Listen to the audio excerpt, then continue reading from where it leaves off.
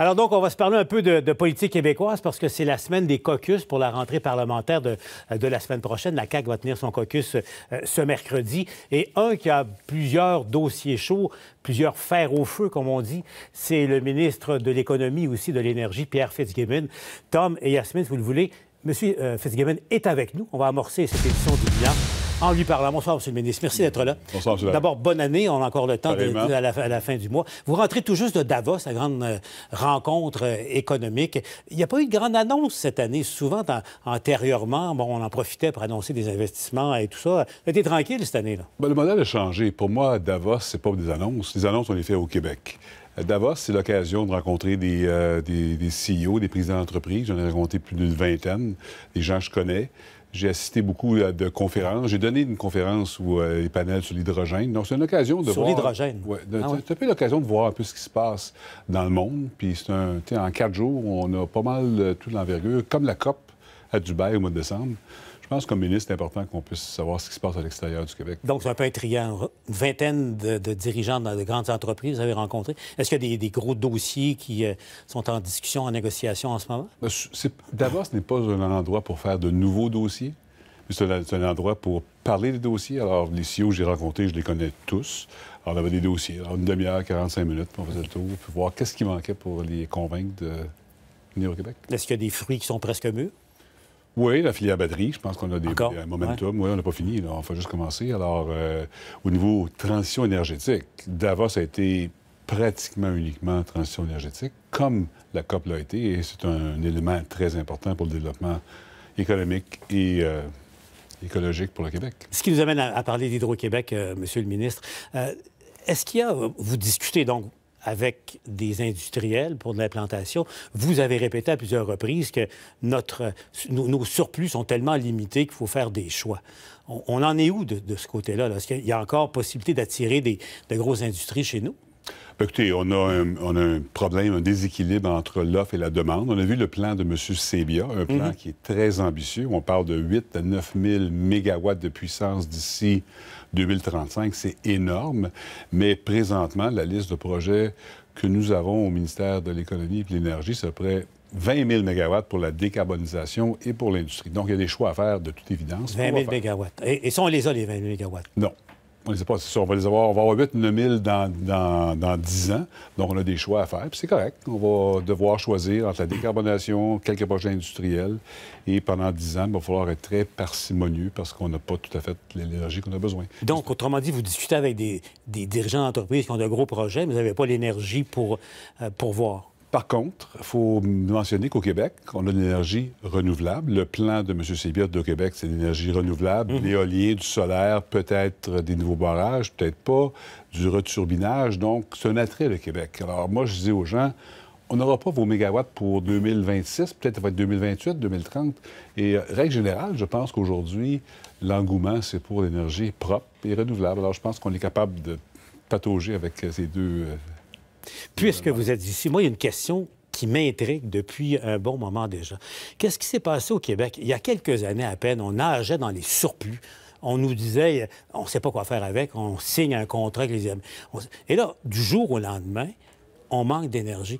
Qu'est-ce qui s'est passé? mauvaise planification à Hydro-Québec? Où on s'est trompé? C'est trop facile de blâmer Hydro-Québec. Non, mais ça ne marche pas. ce qui s'est passé, c'est que quand on regarde l'histoire du Québec de l'an 2000 à 2021, il y a eu un seul projet qui requérait 50 mégawatts et plus de puissance.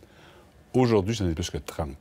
Alors, qu'est-ce qui s'est produit? À Québec, sur la base historique, il se disait que la capacité industrielle, la demande industrielle était pour être modeste, comme les, dernières les derniers 20 ans.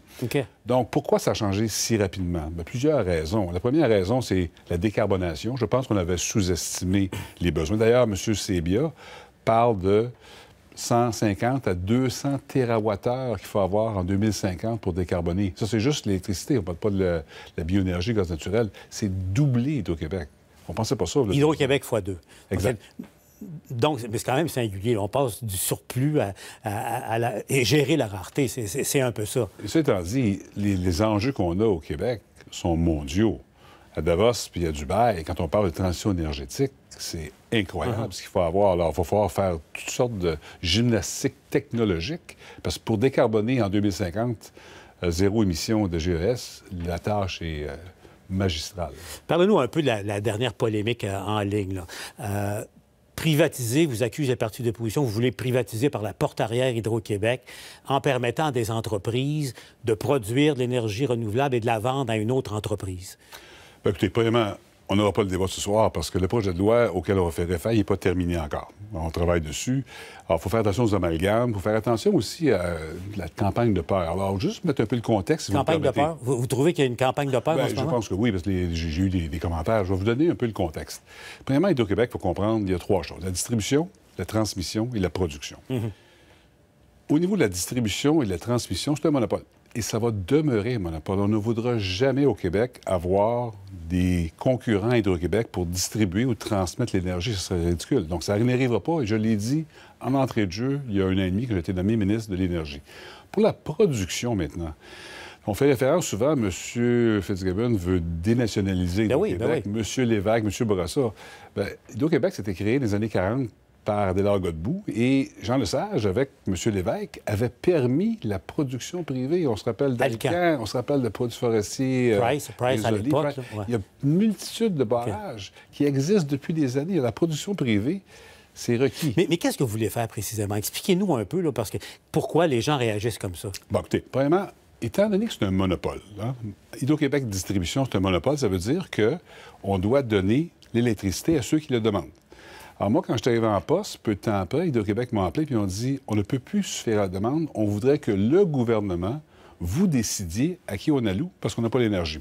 Alors, il y a eu le projet de loi numéro 2, donc mm. le ministre de l'Énergie et son équipe allouent l'électricité. Alors aujourd'hui, pour répondre à votre question, si une entreprise veut décarboner, il n'y a pas d'électricité disponible. J'ai 500 MW pour les prochains 5-6 ans. Puis il dit, moi, j'ai un terrain, je vais mettre des éoliennes, je vais me connecter à mon réseau, pas celui de Québec. Alors moi, je dis la production privée, dans la mesure où c'est un terrain qui appartient à une entreprise, qui va faire son autoproduction pour donner l'électricité. Puis ils vont décarboner, puis ça coûte rien au gouvernement, pourquoi pas? Alors le débat maintenant, puis je vais vous donner un exemple qui s'est arrivé il y a quelques jours. Un décret ministériel a été accordé parce que les entreprises qui ont leur propre production n'ont pas le droit de vendre à Hydro-Québec. Uh-huh. Donc, des surplus. Sauf à Alcan. Alcan peut vendre à Hydro-Québec. Non, ben, ils ne font pas, là. Mais euh, alors, produit forestier résolu n'a pas besoin de tout son électricité avec ses droits hydrauliques. Alors, Hydro-Québec veut l'acheter. Donc, Hydro-Québec a demandé qu'on fasse un décret où aujourd'hui, on va produire aujourd'hui, au moment où on se parle, pour la pointe. Donc, produit forestier résolu va vendre son électricité à Hydro-Québec. Donc, tout le concept de la production privée qu'Hydro-Québec, mais on, ne permettra pas à des entreprises d'aller faire un parc éolien à cette île puis vendre ça à Châteauguay. Alors, le réseau d'Hydro-Québec va demeurer à Hydro-Québec. Et Hydro-Québec, s'ils veulent acheter de l'énergie, ça va être leur choix. Eux doivent il faudrait que ça passe automatiquement par Hydro-Québec. Absolument. Pour le réseau, absolument. OK, parfait. Euh, Nordvolt. Euh, avant de se laisser, euh, M. le ministre, bon, annonçant grande pompe, c'est énorme. Le Québec et le Canada ont mis beaucoup, beaucoup d'argent pour attirer Nordvolt. Mais là, vous voyez comme nous, euh, il y a toutes sortes de contestations. Euh, même devant les tribunaux, on demande une injonction pour arrêter les, travaux. Je vous écoutais ce matin à la radio euh, de Paul Arcan. Vous craignez quoi exactement? Parce qu'évidemment, ça résonne, cette résistance-là au Québec. Ben, c'est judiciarisé. Il y a une injonction. Demain, on va entendre le juge, on va voir ce qui va arriver. Moi, tout ce que je dis, puis on, va, accepter les décisions prises par le côté juridique. Moi, ce que je dis, c'est un projet très intéressant pour le Québec. Ça va restructurer une industrie. On n'a jamais eu dans l'histoire du Québec un projet comme ça. Ça va décarboner avec euh, les batteries électriques. La compagnie Nordvolt, quand on fait des recherches, c'est une compagnie qui a énormément de rigueur au niveau environnemental écologique. Mm-hmm. On le voit en Suède. Alors, ces gens-là sont surpris un peu. Ils sont, ils sont ébranlés, c'est ce que ben, je vous écoutais ce matin. Oui, ben, j'ai parlé à un administrateur, puis euh, la question, euh, est-ce que vous nous voulez au Québec? Alors moi, je réponds pas. Moi, je suis ministre de l'Économie, mais le ministre de l'Environnement a pris des procédures. on a parlé du BAP. Il n'y a pas de BAP, mais l'entreprise est, assujettie aux normes environnementales. Ah. Il y a toutes les procédures qui étaient, qui suivies. Alors, on va laisser les gens décider. Moi, je dis, il faut, faire attention. Je ne porte pas de jugement.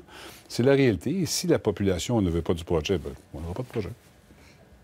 Ça pourrait aller là. C'est pas grave. Ben, c'est pas grave. Écoutez, moi, ma, ma, ma, la raison pour laquelle je suis dans la politique, c'est pour créer des, des, projets, créer de la richesse collective. Je pense que c'est un projet qui est unique pour le Québec, mais bon, peut-être que je suis seul qui pense comme ça.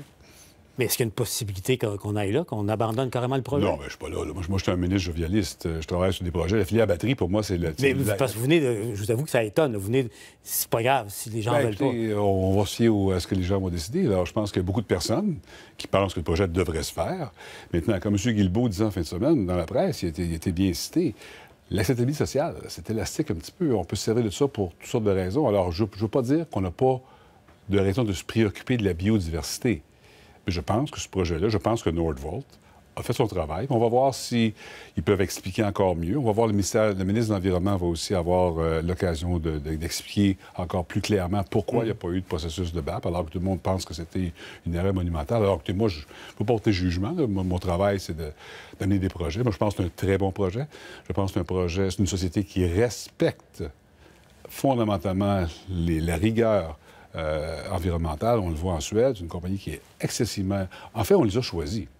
Parce qu'au niveau du cellulier, c'est des cellules mm-hmm. qu'on fait, qu'on ferait si le projet va de l'avant, on a choisi parmi beaucoup de projets. En Nordvolt, pour moi, c'est l'exemple de ce qu'on va avoir, ce qu'on a besoin au Québec pour créer de la richesse collective et pour décarboner aussi. En, terminant, donc vous les avez choisis, mais eux aussi ont choisi l'offre que vous avez faite. Et là, on voyait que l'Allemagne a, mis beaucoup moins d'argent sur la table en subvention que, que, le Québec et le Canada pour, pour les attirer chez eux également. Qu'est-ce que les gens doivent comprendre de ça? Bien, vraiment, on n'a pas la finalité encore de l'Allemagne, mais effectivement, l'Allemagne, c'est une industrie automobile qui existe déjà. Il faut se rappeler qu'au Québec, il faut être un archéologue pour se rappeler que GM faisait des Camaro des années 90. Euh, Alors, Mirabel, On veut, on veut revenir dans l'industrie par la base, donc par euh, les mines, les minéraux critiques jusqu'à la cellule. Je vais être public prochainement sur tout le côté subventionnaire. Ne pas oublier qu'on a aussi des participations en équité des entreprises. Alors, euh, Nordvolt et les autres ensemble, je, vais préparer un topo parce que c'est important, je pense, de démystifier un peu ce qui se passe. Mais il fallait, c'est la, décision des gouvernements, l'Ontario, le Québec et le fédéral d'accorder trois projets RRE qu'on appelle, Nordvolt ici au Québec et l'Ontario choisit Stellantis et Volkswagen. Et c'est le pilier, je pense, la fondation de cette industrie-là qui, je pense, va être une industrie euh, transformatrice. Est-ce qu'il y en a d'autres? D'autres projets dans la filière? Il y en a quelques-uns encore. À suivre. Merci, M. Fitzgibbon, d'avoir été avec nous. Ça plaisir. Merci.